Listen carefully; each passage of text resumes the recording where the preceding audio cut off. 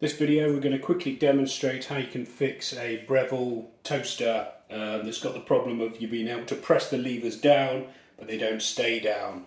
So press this down, when it's connected to the mains the heating elements come on um, but the, the lever just comes back up.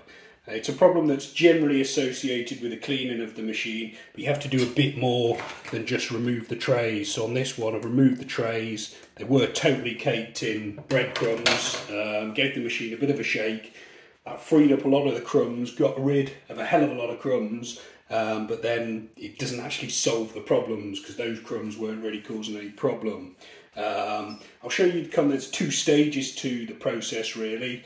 Uh, the first, well, first thing, obviously disconnect the machine from the mains because we're going to be looking at the inside of the machine, so we don't want it anywhere near the power. So switch the power off, unplug the mains, um, flip the machine up back on its side. So this one in particular we're looking at is the VTT476, but the process is going to be the same or similar on pretty much any toaster.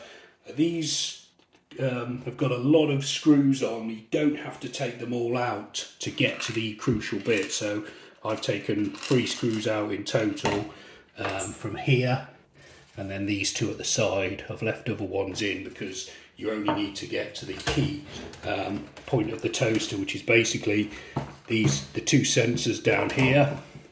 So there and there.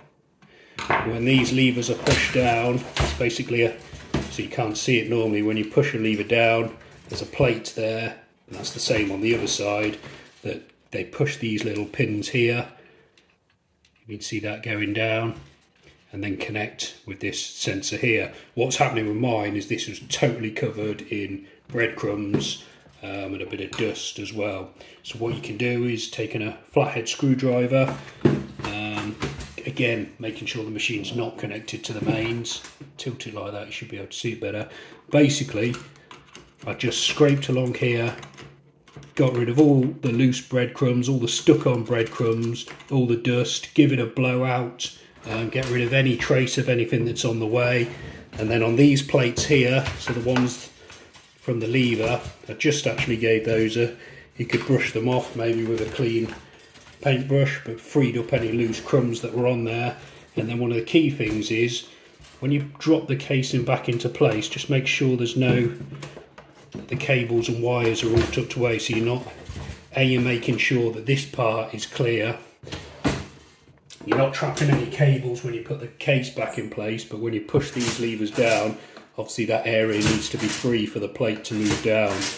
Um, when you're happy with it that you think you've cleaned it enough. I wouldn't bother screwing the cases back on yet. You just want to make sure you've done sufficient amount of cleaning. So basically connected that one back into the mains.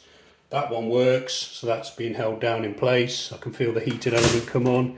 And then this one works as well, so I'm really chuffed with that because that one's not been working for ages, but I kind of just ignored it because I've still got this bit of the toaster. And this one went yesterday, um, so then disconnect that from the mains again and that's um, that's that sorted. Um, so then just remember obviously when you've disconnected it from the mains again screw your casing back on and that should be you ready to go. Okay thanks for watching